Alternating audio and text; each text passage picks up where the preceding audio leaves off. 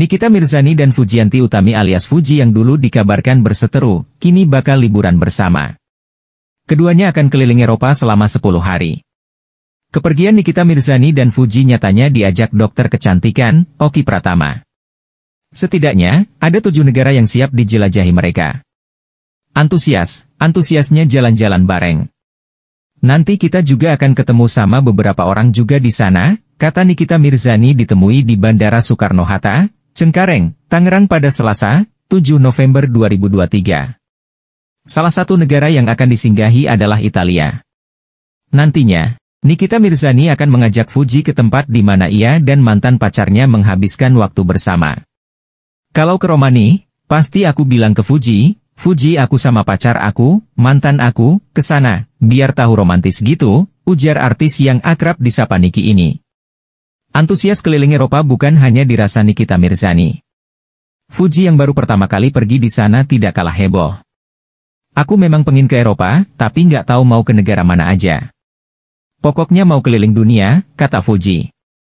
Keberangkatan Nikita Mirzani dan Fuji sekaligus meredam kabar yang menyebut keduanya berseteru. Ini juga menjadi salah satu tujuan Dr. Oki Pratama mengajak mereka, selain karena keduanya adalah brand ambasador produknya. Menepis isu yang menyebut, Fuji dan Niki gimana nih hubungannya? Apakah udah baik-baik aja? Emang dari dulu baik-baik aja, kata Dr. Oki Pratama. Selain itu di hari ulang tahun ke-21 yang baru saja berlalu, Fuji menerima banyak kado dari keluarga, sahabat, dan para fans. Di antara sekian banyak kado yang diterimanya, ada beberapa yang bernilai fantastis. Apa saja? Sehari sebelum ulang tahunnya, Fuji mendapat kado ulang tahun super mewah dari para fansnya, yaitu satu set perhiasan berlian yang terdiri dari kalung, sepasang anting, dan cincin. Fuji mendapat kado berupa gelang emas putih yang dihiasi berlian dari sang kakak, Franz Faisal. Menurut sang kakak, Harga kado yang ia beli itu setara dengan hasil kerjanya selama satu bulan. Fuji mendapat hadiah ulang tahun dari Dr. Oki Pratama berupa transferan uang sejumlah Rp 100 juta. Menurut Dr. Oki, ia merasa uang tunai jauh lebih berguna dan bisa menambah tabungan sang selebgram. Fuji mendapat kado berupa tas branded Chanel dari pasangan Shandi, Purnamasari dan Gilang Juragan 99. Tas yang terbuat dari kulit dan memiliki tali panjang berupa rantai warna emas itu diberi nama Chanel Pearl Cruise Camera Bag, yang dibanderol dengan harga sekitar Rp 83 jutaan.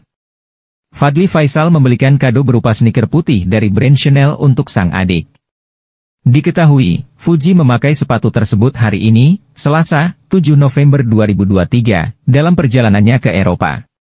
Dikutip dari sebuah situs belanja, sneakers tersebut diketahui dibanderol dengan harga sekitar Rp 17 jutaan.